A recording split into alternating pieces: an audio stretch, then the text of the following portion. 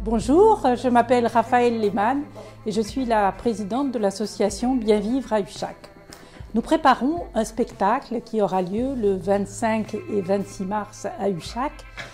Un spectacle costumé avec beaucoup de costumes puisqu'il y aura une centaine de costumes dont une vingtaine de costumes vénitiens parce que nous sommes presque devenus spécialistes en costumes vénitiens. Les tableaux que nous proposons, là il y aura cinq tableaux donc euh, sur des époques différentes. Ça commence au Moyen Âge et ça se termine en 1889, donc pour l'exposition universelle de Paris.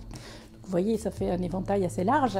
Et donc il y a cinq tableaux principaux avec les costumes qui correspondent à ces époques.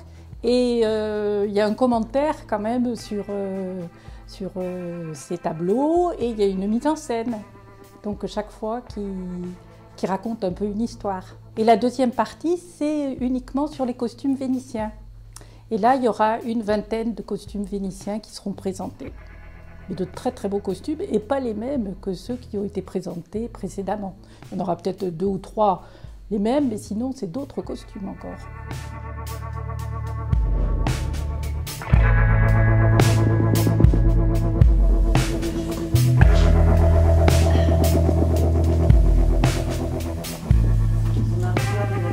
L'association existe depuis euh, de nombreuses années, au juste là j'avoue que je n'ai pas, pas, les chiffres, mais euh, l'association comporte en particulier deux sections. Une section gym, donc, euh, qui, qui a lieu tout, deux fois par semaine, et une section couture. Donc nous nous retrouvons tous les jeudis après-midi pour, pour coudre. C'est plus un club qu'un atelier, on se retrouve, on papote, on mange des crêpes quand c'est la chandeleur.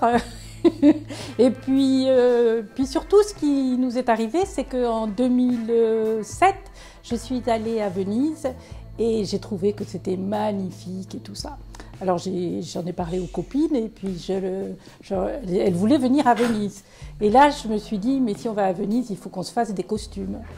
Et j'ai lancé l'idée comme ça, un peu euh, comme ça, donné au vent, ne sachant pas ce qui allait nous tomber dessus parce qu'en en fait, on est tombé dans la marmite des costumes à partir de ce moment-là. Et là, maintenant, c'est foutu, on est en plein dedans.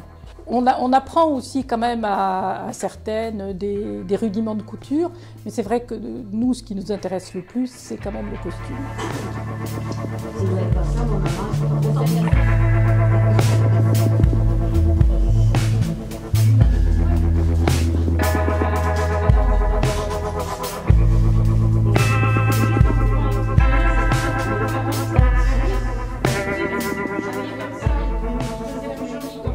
Alors pour faire ces costumes, il y a de tout. C'est-à-dire que par exemple, quand on a commencé pour euh, faire nos costumes pour aller à Venise la première fois, on a acheté quand même des tissus, euh, mais on les achète euh, pas très cher sur, sur les marchés. Hein, parce que on ne voulait pas non plus que ça devienne quelque chose d'excessif comme prix. Et par contre, ce qu'on récupère, c'est beaucoup de, bijoux, de bijoux cassés, de bijoux de, enfin, que nous donnaient les, les tantes, les, les belles-sœurs, etc. Enfin, des, pacotilles, mais qu'on rajoute après sur les, sur les costumes. Et tout de suite, ça fait de l'effet.